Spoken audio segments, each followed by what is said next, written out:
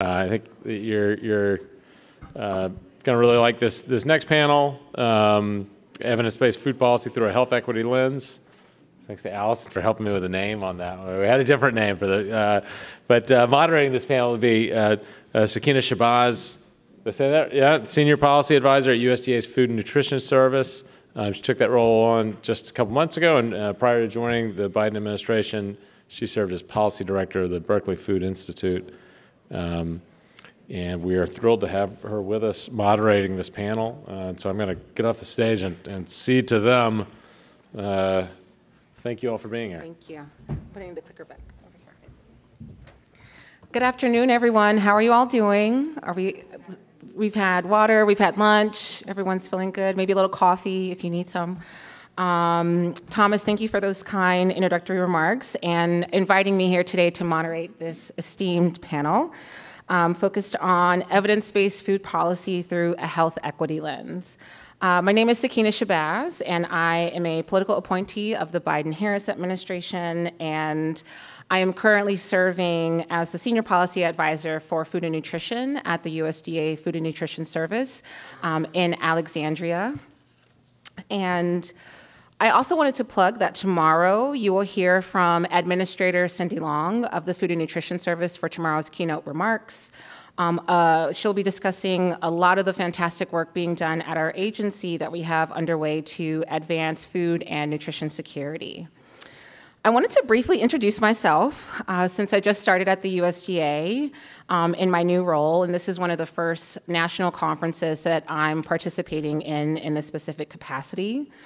My portfolio at the USDA includes the Food and Nutrition Security Initiative, which is led by Dr. Kari Cotright, who couldn't be here today, and with a lot of support from Dr. Sheila Fleischhacker, um, both of whom send their regards from spring break with much needed time off right now. My role at the USDA also includes engaging with U.S. territories on food and nutrition service programs and policies, and working on local and regional food systems, interagency work on homelessness, veterans, and youth, and also monitoring updates related to the Thrifty Food Plan. Most recently, I worked at the UC Berkeley, Berkeley Food Institute under the College of Natural Resources, where I managed local, state, and federal policy engagement. This included co teaching a graduate seminar on the US Farm Bill, that was a lot of fun managing coalition engagement with statewide partners, working closely with UC Berkeley students, faculty, and staff on food systems related policy and research projects. I've also worked in and out of Washington, D.C., and also am a graduate of Georgetown University. There are many, many familiar faces in here. I am in good company. We are all in good company today. Um, while most of my upbringing was in San Diego, California, uh, my family roots are very southern, reaching back to Louisiana and North Carolina and Tennessee. Uh, my grandmother, Mary, who uh, it is good to invoke her in this space, uh, worked for the city of San Diego for many years, but she was also a school lunch lady at my elementary school where my siblings and cousins and I attended, and also where my mother attended. So the importance of school meals have been around for a really, really long time in my family. My mother is also a Head Start preschool teacher, which she has been doing for more than 20 years, and is deeply knowledgeable of the child and adult care food program, child development, and the importance of supplemental nutrition programs that we all care about as well. Part of my role at USDA is celebrating all the work of our partners and what they're doing, especially related to the historic White House Conference on ending hunger and improving nutrition and physical activity and reducing diet related diseases and the disparities that accompany that. But to reach those ambitious goals, my role also includes challenging each of us to do better together. As others have mentioned today, the historic White House conference catalyzed the public and private sector to work together to accelerate progress and to drive transformative change in the US related to these issues. While, we're, while we are excited about the progress to date, each of us knows well here today that we need to do more to integrate evidence based food policy through a health equity lens. For the first time, the Dietary Guidelines Advisory Committee has been charged with adopting a health equity lens in its scientific review. The goal is to formulate nutrition advice that is relevant to people with diverse racial, ethnic, socioeconomic, and cultural backgrounds, but more broadly, disparities in the burden of diet related diseases has fueled calls for integrating equity considerations into food policy writ large. This afternoon, this esteemed panel will explore the rationale for applying a health equity lens to food policy and the impact on specific areas such as school meals, nutrition education, advertising regulation, and federal nutrition assistance programs. We'll first have Dr. Alison Brown, who is a project director at the National Heart, Lung, and Blood Institute kick us off with a federal perspective from building from a funding agency about how we are investing in building the evidence base to inform food policy, increasingly using a health equity lens. After Dr. Brown, Dr. Warne will provide an academic perspective of using evidence based research around food policy, also using a health equity lens. We'll then hop over to Sherry Frey, and she will provide insights from Nielsen IQ analytics to integrate consumer perspectives on this conversation. And our final, our final panelist today will be Dr. Stephanie Goodwin, who is the Director of Nutrition Policy at Danone North America, and will share how a food company is helping to translate evidence based food policy into their policies and practices and products, and how her company is using a health equity lens. Without question, we have an excellent panel here today, and we'll aim for each of them to present, and then we'll use the remaining time and networking to break down any questions that you all might have. And with that, I will hand it over to Dr. Brown.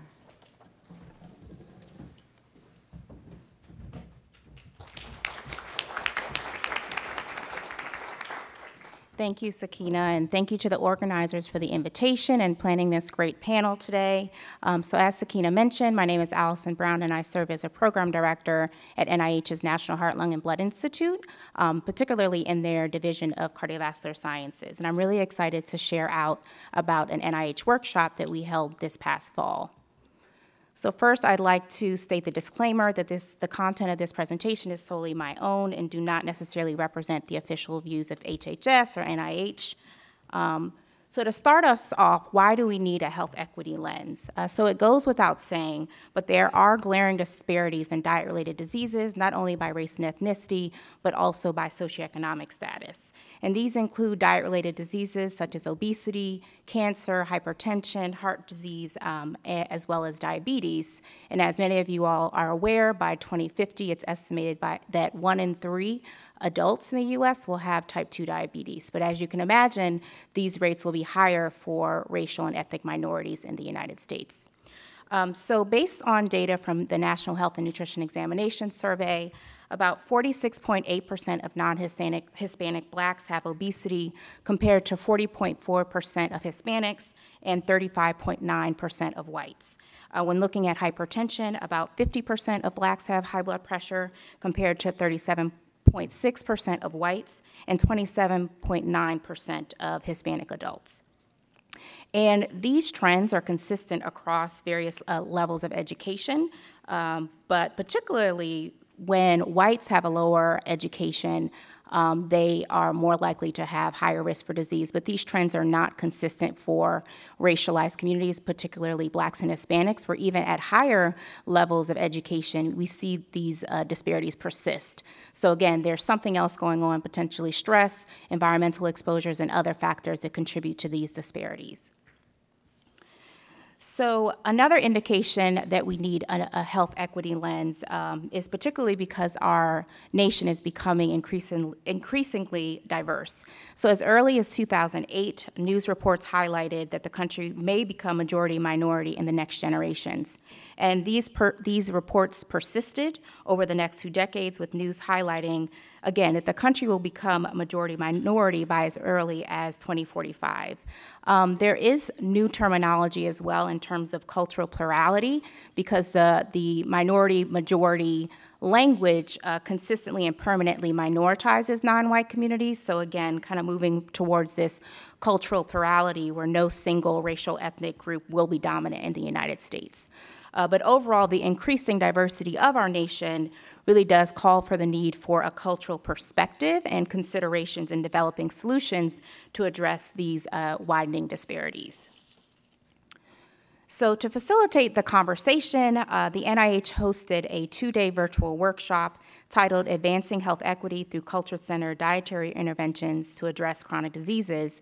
This was held this past September and organized in collaboration with several federal partners, several of whom are in the room today. So, colleagues from CDC, the Indian Health Service, the HHS Office of the Assistant Secretary for Health, as well as USDA. So, again, a very uh, trans uh, federal agency partnership.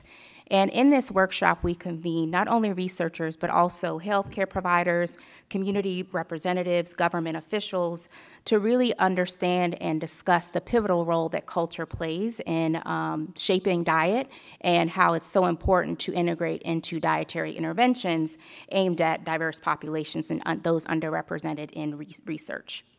So the goals of the workshop were threefold. Uh, one, to review how cultural foodways and social cultural factors could be leveraged to improve the effectiveness of dietary interventions among diverse groups. So we know uh, diets that are evidence-based, such as the DASH diet, Mediterranean diets, um, those diets can be culturally adapted, but how? And the, the, the workshop convened researchers to talk about that. Um, it also included discussions around identification of gaps and opportunities for research around cultural tailoring. And then lastly, it examined the influence of cultural related factors on the biological mechanisms. So, how does diet and changes in diet impact the microbiome, uh, metabolomics, and other biological factors? So, again, the, the workshop was very timely as well, considering the convening of the dietary guidelines and the particular focus on health equity. So, again, it was a great opportunity for federal agencies to partner and convene and talk about this important and timely topic. So the, the two-day workshop, it convened nearly 1,500 virtual attendees, and the idea, you know, we just coming out of the pandemic, we could have held it in person, but we opted to hold it virtually again to, to make it more inclusive, particularly for smaller CBOs that may not have the budget to attend a federal conference. So we really wanted to expand the audience, and it's centered around eight specific panel discussions. So the first day, uh, the panel started off with a workshop, or sorry, a panel on cultural aspects of food and diet and implications for dietary intervention research. And the next four panels focus on the racial and ethnic groups as uh, de defined by the Office of Ban uh, Management and Budget. Um, so the first pa panel focused on socio-cultural factors influencing the foodways and food sovereignty of Native American communities. The second focused on dietary interventions tailoring uh, and tailored for black communities of diverse social cultural experiences in the U.S. Uh, the next uh, panel focused on migration and acculturation and dietary inter interventions among diverse Hispanic and Latino communities. And then the last but not least panel on that first day focused on cultural considerations for dietary interventions among the diverse Asian and Pacific Islander populations. Then we moved on to day two of the workshop, um, and it started off with a, a, panel with our USDA and HHS colleagues speaking on the topic of developing evidence-based dietary interventions for, di uh, for diverse populations, followed by a panel at, again, the more biological mechanisms, looking at precision nutrition, uh, culture and diet, uh, then the final panel uh, really provided an opportunity for community-based organizations working on the ground that have translated the science into um, into practice. It allowed them to highlight the work that they were doing in, on uh, on the ground in the community. So over the course of the two days, obviously NIH's focus is on research, so we highlighted key research gaps and opportunities, um, and uh, I highlight a few on the next slide. Um, so sorry for all of the text here, uh, but uh, just a, a, few gaps and opportunities that we highlighted inc included developing dietary guidance uh, that are culturally adaptive, again, very timely for the dietary guidelines, um, and emphasizing the importance of focusing on traditional foods and eating patterns across diverse communities. Uh, also, there was a discussion around the importance of examining the efficacy of grassroots food sovereignty initiatives, which are particularly important for our indigenous populations and communities. Um, in terms of the U.S. black population, uh, we talked about the need for more research to assess the sustainability and effectiveness of plant-based dietary interventions. Also, given the increasing reliance on technology, there's a need for the design um, and investigation of the efficacy of various technological platforms uh, to engage different uh, segments of the Hispanic population. And then in terms of the Asian American communities, uh, there was the expression to the need to evaluate the effectiveness of culturally tailored dietary interventions within, again, the very diverse South Asian populations uh, that really consider culture, religion, social networks, and re regional variations. Um, and then specific to the accuracy of dietary assessments and analysis, we had um, a great conversations with our USDA partners, but there was the identification of the need for more inclusive and a broader range of foods that are available in our USDA's food and nutrition diet, uh, databases uh, in order to inform dietary studies. And then lastly, in terms of biological mechanisms, we need to do more research on the consequences of lower dietary fiber intake on uh, changes in the gut microbiota, particularly among immigrant communities. Uh, but overall, there was this recognition of the need to acknowledge the heterogeneity among the various racial and ethnic groups uh, in the U.S. So personally, I come from a bicultural background. My dad is from Trinidad and Tobago. My mom is African American. So again, really considering that heterogeneity and diversity within the racial ethnic groups within uh, the country.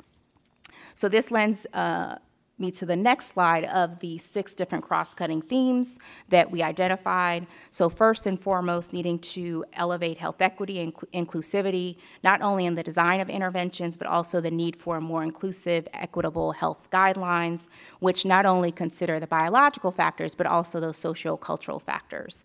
Uh, the second theme was the uh, need for community-centered approaches and ensuring that communities are engaged from the planning stages of research as well as uh, the implementation of the actual research.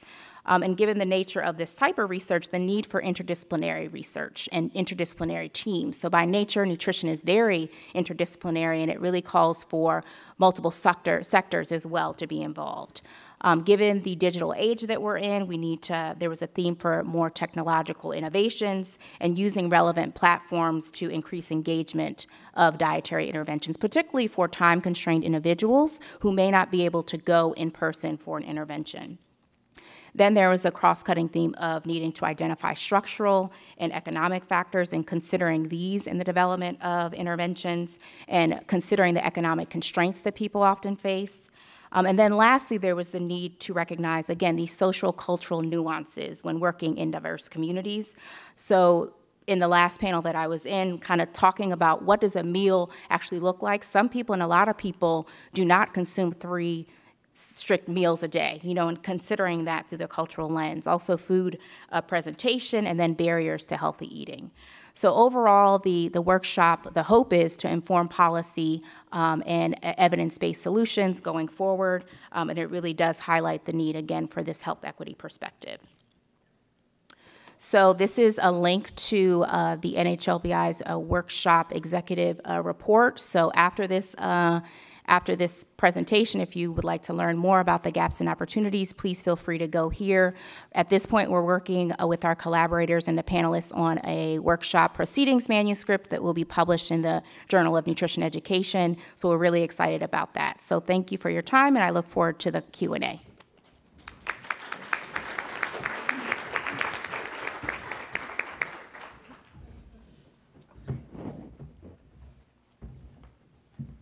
Dr. Brown, that was a fantastic presentation. And next up, we will have Dr. Warne.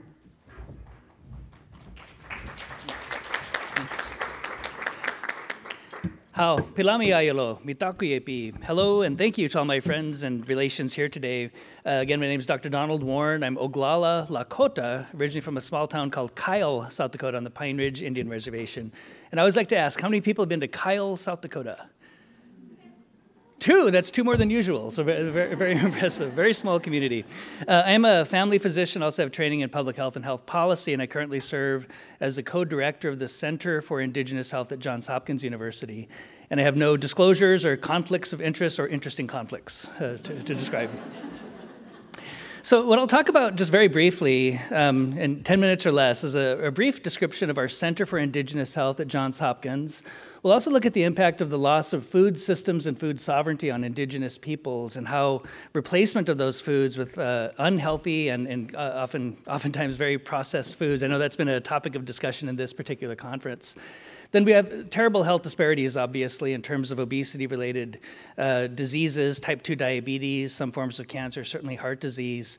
And then let's also think about the risk factors. In addition to uh, poverty and marginalization, some of the other challenges we face are exclusion from data sets. And I would say when we're thinking about health equity and working with Indigenous peoples, the first step include us in your data sets, right? How often are, are, things reported where we're not even a part of the discussion?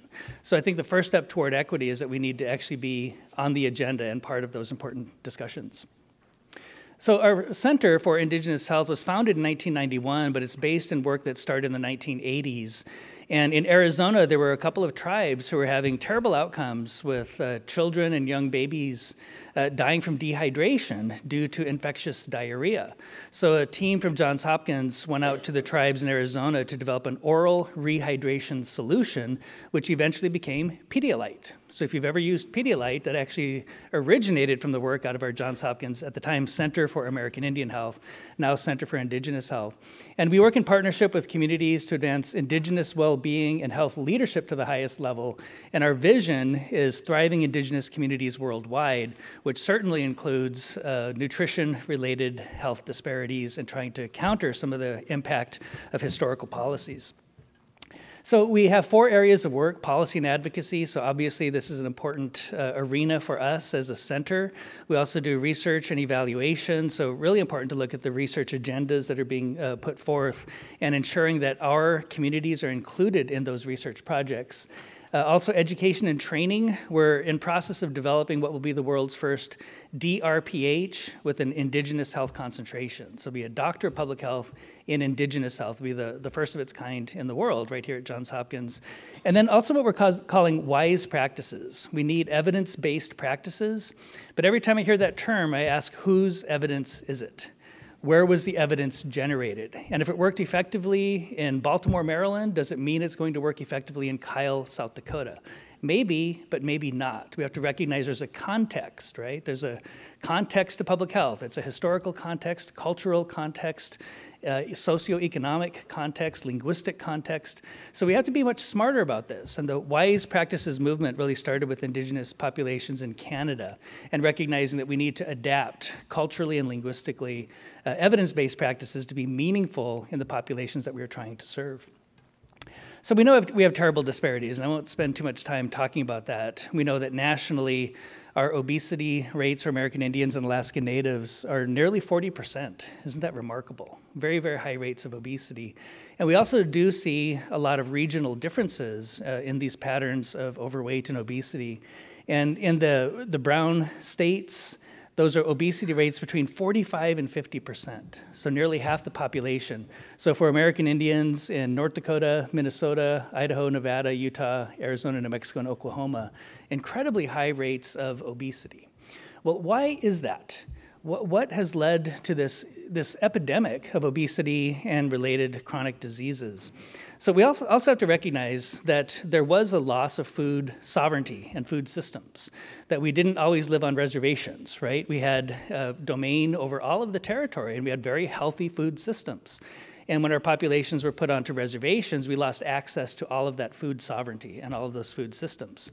And then it was replaced with uh, federal programs. And at the risk of being unpopular, some of the USDA programs really helped lead to some of the disparities that we're facing right now, right? So, in addition to that, loss of territory, loss of food systems, loss of culture, loss of language, uh, we also have to recognize that we have challenges with intergenerational poverty. So, in addition to loss of all of that wonderful, healthy food systems, I mean, we used to have hundreds of varieties of corn. Now we just think of yellow sweet corn when we think of, of that food.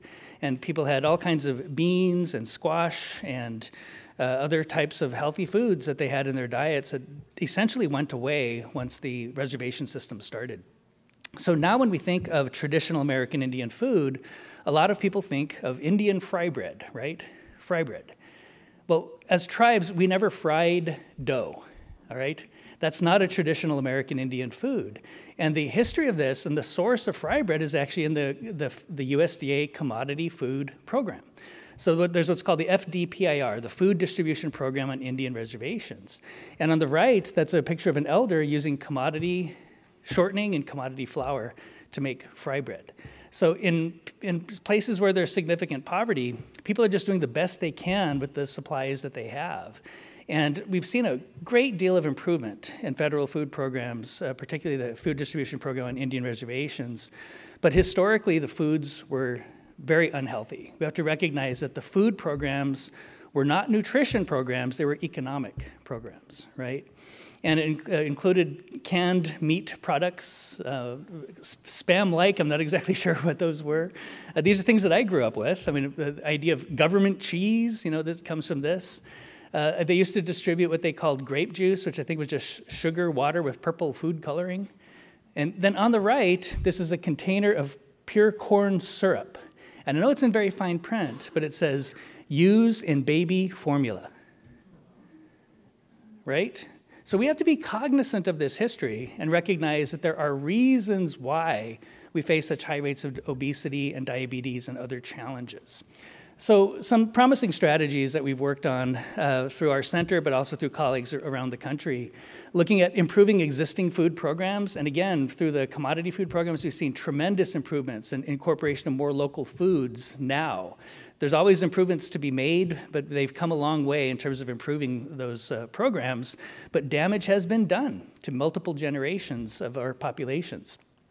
Promoting breastfeeding and early childhood nutrition uh, WIC has also done a much better job of promoting breastfeeding in recent decades, but when I was a full time clinician in one of the tribes in Arizona, the, the WIC program was basically a baby formula distribution center, just handing out all just a remarkable amount of baby formula to the extent that our population had the highest rate of formula feeding, even though we were living in poverty.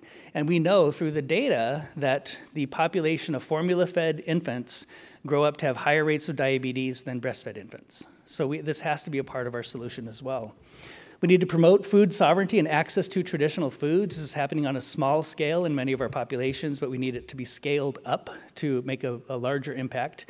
Expanding locally cultivated foods. And what's happening in a couple of uh, communities is taxing unhealthy foods and subsidizing healthier options. I work with a tribe in Minnesota, and they have this wonderful wellness center, and it's used actively by many of the youth. They have basketball programs and other sports that the kids really enjoy. But their vending machines, they were just selling all kinds of sugar sweetened, uh, uh, sugar sweetened beverages. So what they did was subsidize bottled water. So the water was 25 cents, and the soda was $1.25. And guess what? Water consumption went up. There are some policy things that we can do. Some tribes are actually taxing unhealthy foods and the sugar sweetened beverages. So I know it's controversial in some sectors, but the data are pointing in a good direction. When we look at these types of policy solutions, it just needs further study. We need to elucidate more data out of these opportunities. And it, it certainly worked for uh, cigarette smoking. Perhaps it'll work in some of these other arenas that we need to address. So those are a few of the references. I'm looking forward to hearing the other panelists, and certainly also looking forward to uh, the question and answer session. So thank you all very much. Appreciate it.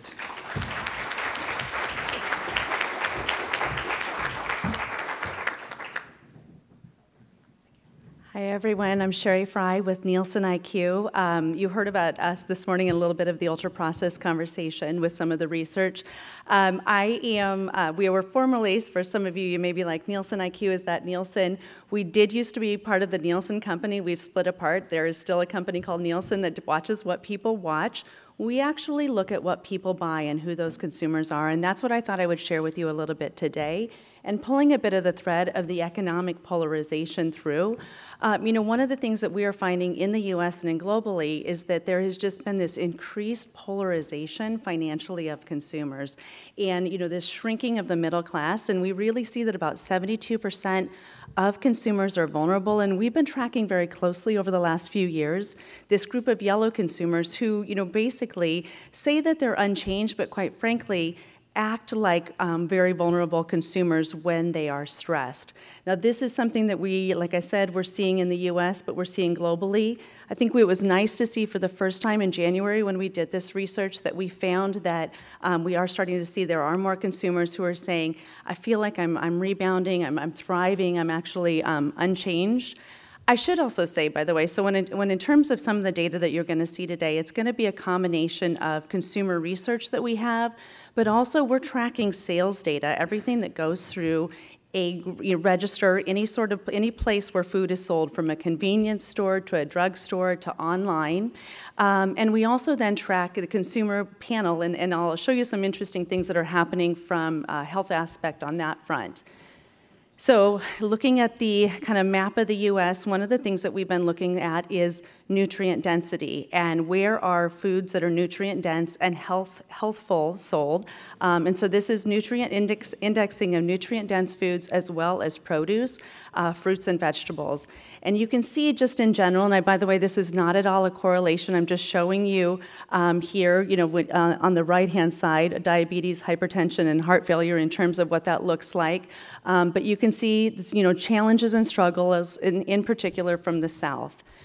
We have also been working with Feeding America for over a decade. We've been supplying our data to them to map the meal gap. And I will tell you, and for, for many of you that are in this space, you know that um, the map looks pretty similar when it comes to food insecurity as well um, from a US standpoint.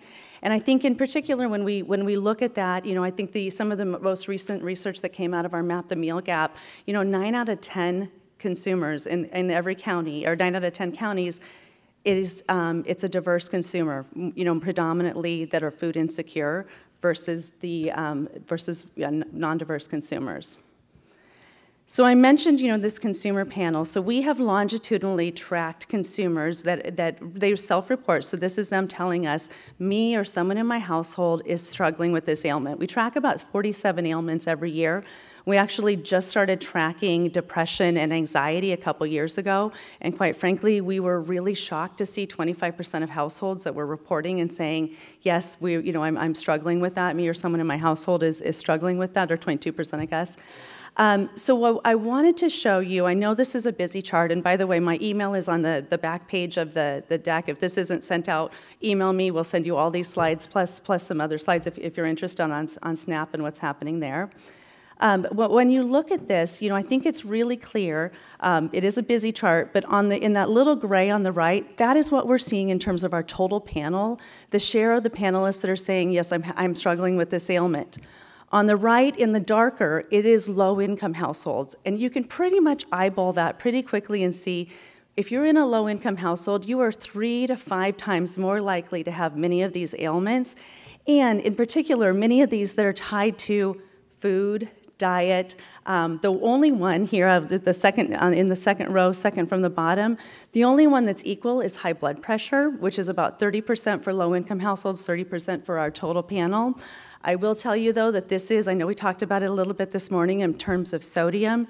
This is one of the top things that I am asked about, you know, constantly, which is the amount of sodium that's in our, our food. You know, in our data, because we're tracking um, the nutrition label, we're tracking the ingredients, we're showing that about 26% of our food in the U.S., food and beverage, is has over 300 milligrams of sodium per serving. So when you think about what this chart will continue to look like in the future, you know, there clearly, clearly are negative, negative implications.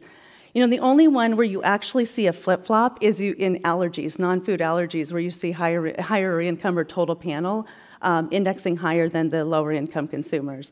But again, I think just really drives home the impact on our health um, in, from an income standpoint. Now, we've also done some looking at what is in the basket of a vulnerable consumer. And so we did this actually, we looked at in the US, we looked at the UK, and we looked at France. And they were pretty consistent in terms of what we saw with a couple of disparities. So um, just highlighting here what you can see, you can see the, you know, the light blue shows you baby, the, the dark blue shows you tobacco and smoking sorts of products. You can see, um, you know, different sorts of things. Yellow is frozen, green is sweets and sweet desserts. One thing we saw differently, we actually saw less alcohol in the vulnerable consumers in the US than we did in France and in the UK, but we did see more sweets in the US baskets than we did in the other two countries. Now, because we, you know, are always trying to look at our data to understand, is there something here? Uh, as I mentioned, you know, on the previous slide, we do see that low-income households tend to have more ailments. What we wanted to do on the right-hand side, what we, we took a look at what are those low income households that don't have a lot of ailments? What are they doing? What are they buying? And we found that they were over indexing. They tend to, again, to have babies in the household. They actually drank alcohol, um, but they very, very uh, highly over indexed on produce and vegetables. They didn't buy, they didn't actually buy beauty products, which was kind of an interesting thing. They did not buy smoking. They very, uh, very much under-indexed on smoking, tobacco sorts of products, and they also under-indexed on you know different categories, breads and, and high carbohydrate-related categories. Again, just kind of starting to look at our data to say, is there a there there? Is there something to understand with bringing these data sets together? We also track SNAP and WIC consumers, and so we have been looking at this, and you know, one of the big questions that we have gotten over the last year was, did people eat healthier when they had the incremental benefits? And we actually did find that yes. Um, and so this, again, we've got, we've got a whole presentation on that. You're, if you, if you want to dive into SNAP, we will share that with you. Um, I think the biggest takeaway that we found, though, was um, you could see that drop, you know, and, and, and I should call out the fact that, you know, we track this thing called Better For, and it really is this idea of better for health, better for society, and better for the planet. And that, um, that you can see the growth. You can also see just general products with wellness claims for these SNAP consumers. And then you can see of clearly the drop when the benefits went away. We looked at this across categories. We saw that they, you know, there was an increased consumption when they had the incremental benefits uh, for produce categories, for products with claims, you know, around things like diabetes. Um, and so, and, and, by the way, I, I, should have mentioned, you know, when we, on the, the diabetes slide, you know, we've done a lot of work specifically on diabetes. And we have actually tracked, and because that is a that is definitely an ailment that um, you know disproportionately affects diverse communities. We've done a lot of work, and we've actually matched our data with health records, and we have seen that um, when consumers do make a change and they pull back on key categories, you know, different sorts of categories, they actually do drop their A1C levels. So we've physically seen that that impact of the changes from a consumer standpoint. Um, so again, we just wanted to share a little bit of what we're seeing, a little bit of a, a, different lens from the, the economic aspect, but because we think it's an important element of looking at, at uh, all the consumers. So thanks so much.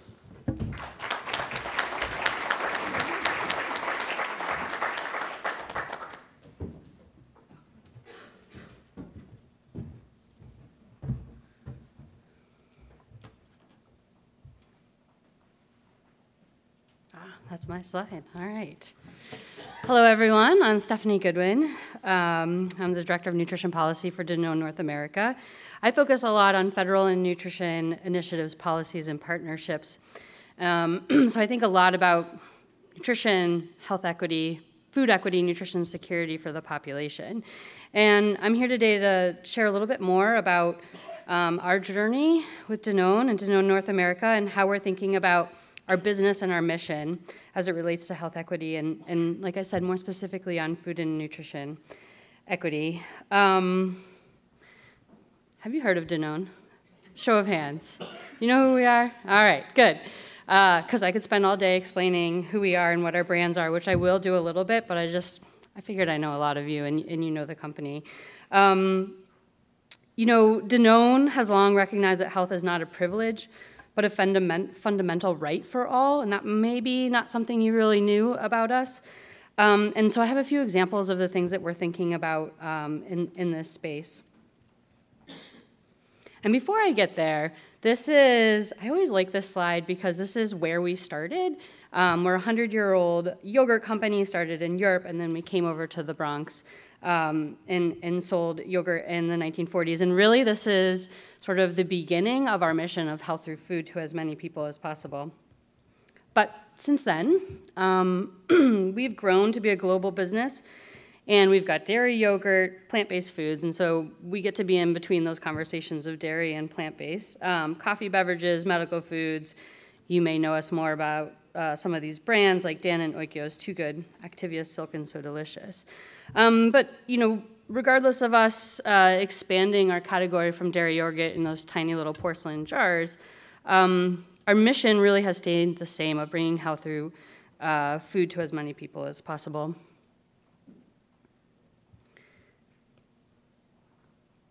And that, um, that mission has sort of guided and been our framework or architect, I would say, for a lot of the, the next set of framing that we have.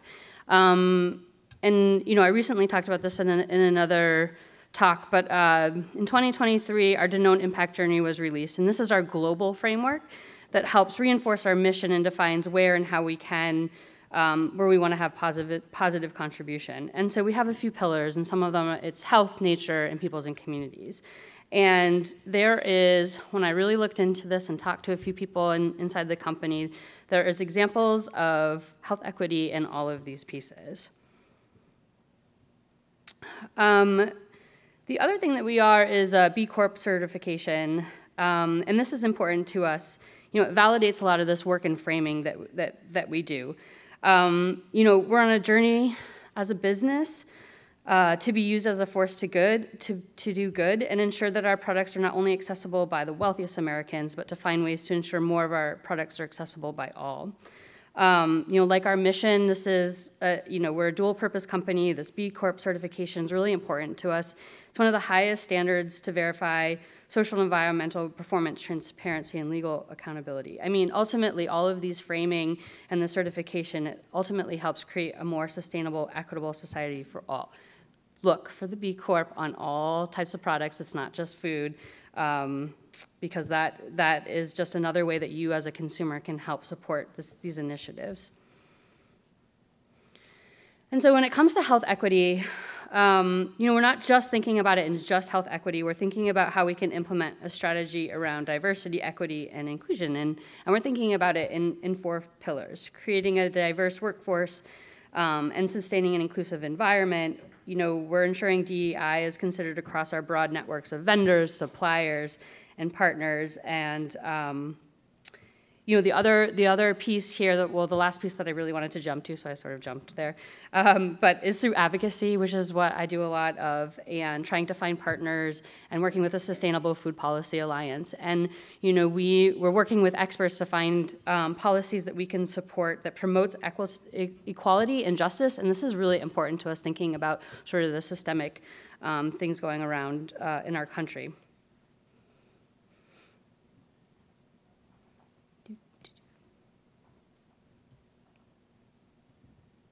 All right. Um, another piece that you may have heard me talk about before is our White House commitments. And I mean, we've talked about it uh, in various panels, and I'll just say that I've been in nutrition for over 20 years. I'm a dietitian, and I'm just really happy to see this White House commitment, or the White House Conference on Hunger, Nutrition, um, and Health, and the national strategy. It's sort of bringing us all together to sort of you know, catapult, someone else said catalyze. I like all of these words um, of us working together. And um, to Danone, like I set up that framework, and this came about really quickly. And we were like, we want to be involved. We want to support this. We want to make commitments. And and so and so we did. And um, I'm just going to provide a few examples um, from. This might be animated. It is. All right. In the, in the three out of the four pillars that we made commitments in. And so the first one is um, we did a nutrition equality study. And um, what was really interesting about this study is I mean, everyone in this room uh, thinking about being a food and nutrition citizen, I mean, we are all into this. Uh, but what was really interesting about this study is it showed that nutrition had risen to the top of the US agenda um, among all people in the US, um, and access to quality food is now ranked as one of the most important issues today alongside economy, jobs, and healthcare. That just gives credit to this sort of catapulting of keeping nutrition at the forefront of the agenda. Um, I've got a whole bunch of statistics here that I'm not going to read you, uh, but you know this is available and I can send it to you. I think the main points really are though that there wasn't an optimistic view in, in the folks that um, filled out the survey on uh, nutritious food accessibility, and in fact, they felt like it was getting worse, um, especially under under um, certain communities. And you know, transportation is one of those things that came up, the lack of transportation. Okay, I'll tell you what the most surprising thing was for me. Um, that people expected food companies to take action to progress food and nutrition equality. They felt like it's, it's in addition to federal and state government, but also retailers, food companies. Um, you know, I think having, they mentioned that food companies need to be involved in supporting uh, food systems and developing affordable products, as well as being uh, involved in education to help individuals.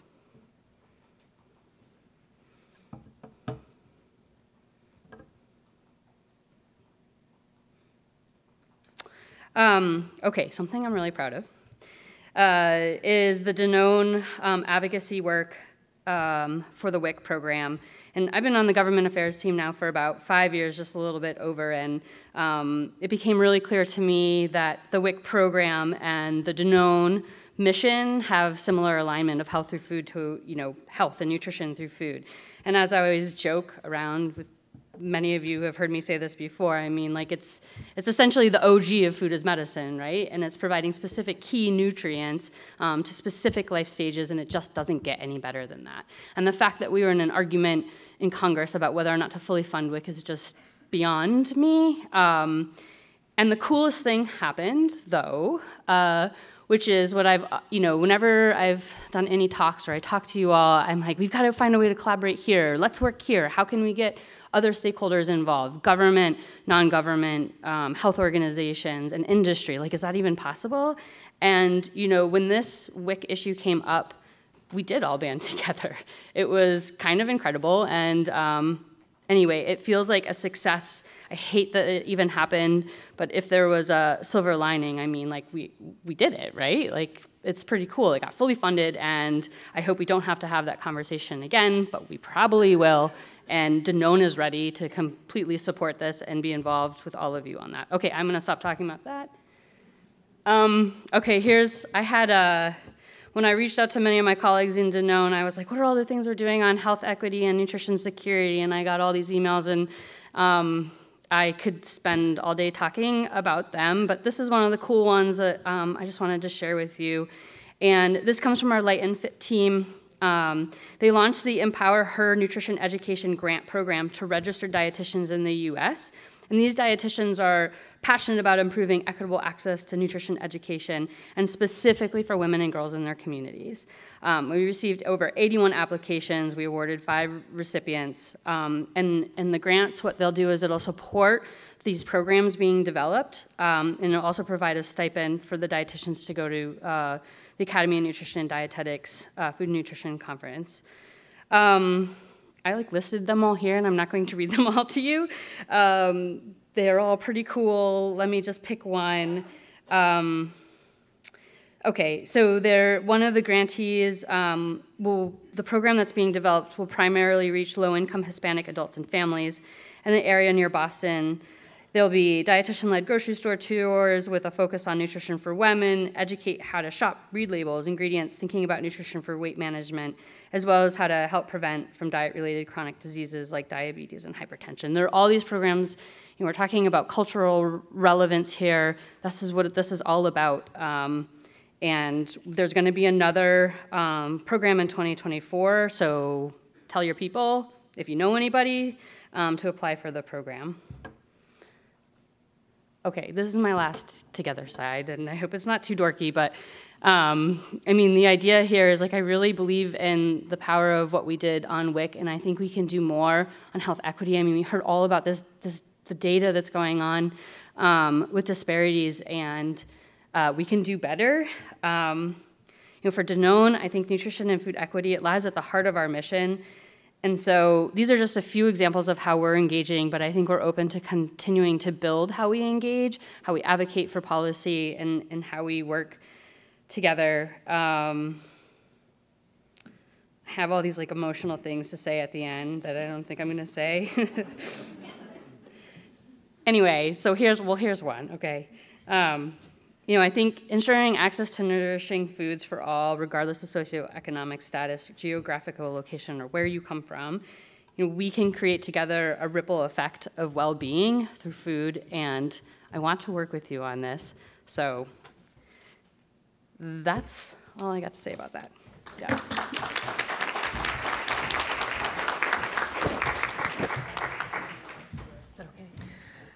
Dr. Brown, Dr. Warne, Sherry, and Dr. Goodwin, thank you all for your dynamic presentations. Let's give them another hand.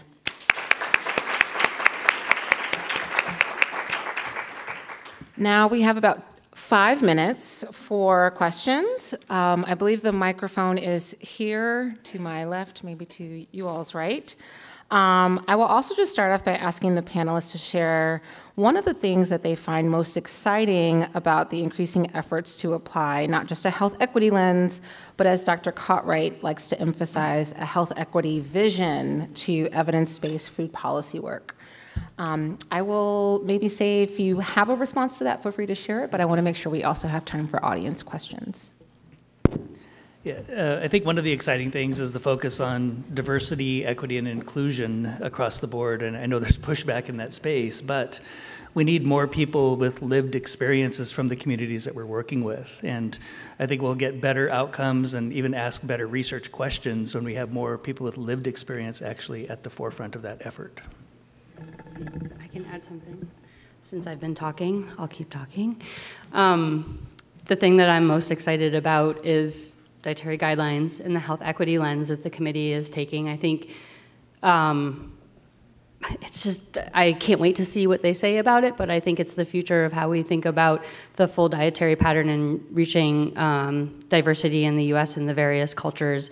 Um, there, we know that there's ways to meet nutrition um, in various culturally like relevant meals and i think it's just a matter of the data catching up to make those recommendations that then will filter in to all the federal programs So I will second the excitement about the dietary guidelines and integration of health equity. Um, but I also want to share a program that I serve as a coordinator for at NIH. It's called Compass for short, Community Partnerships to Advance Science for Society. And the goal of that program, it's a common fund program basically common fund at NIH is like the venture capitalist of NIH. Uh, precision, um, NPH Nutrition for Precision Health, powered by the All of Us program, is one of our common fund programs, but Compass is another.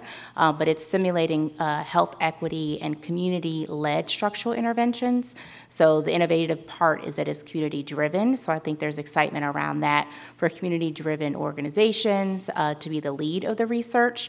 Um, so obviously, working from for a federal agency, I think it's important for it to be top down, but also bottom up, and really engaging communities, uh, similar to what you mentioned, Dr. Warne, about really centering lived experience and those who are working on the ground in this health equity space. So.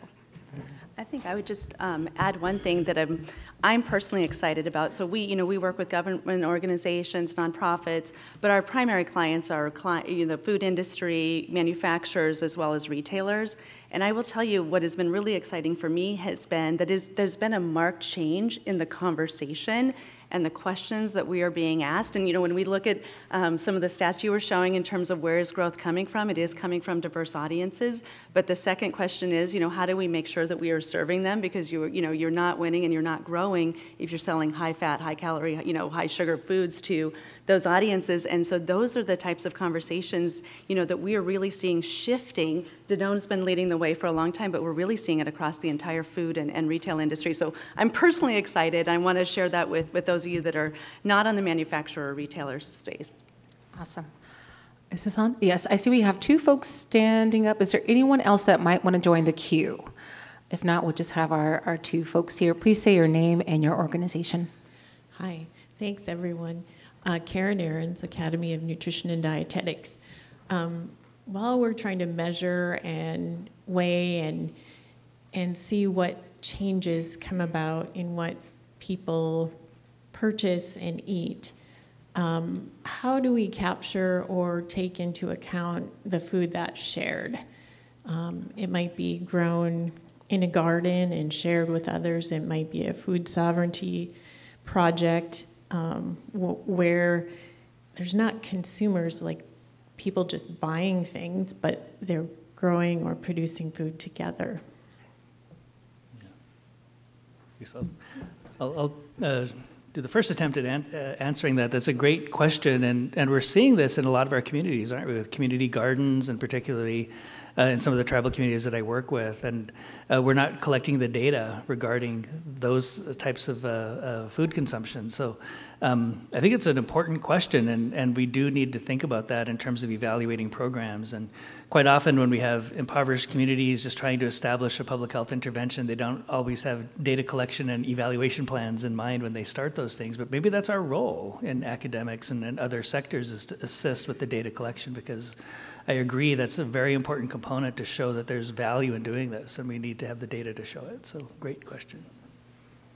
Anyone else?